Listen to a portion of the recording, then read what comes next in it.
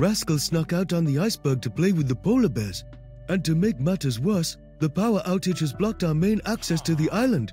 Can you climb up the scaffolding to get onto the roof and restart the power grid?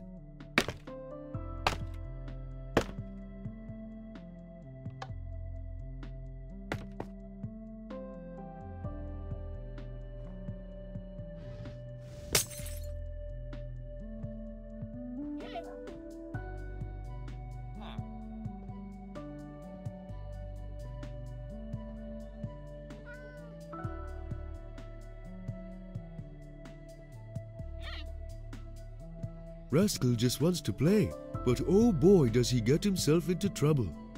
I can take him back to the jungle safari. Bye bye.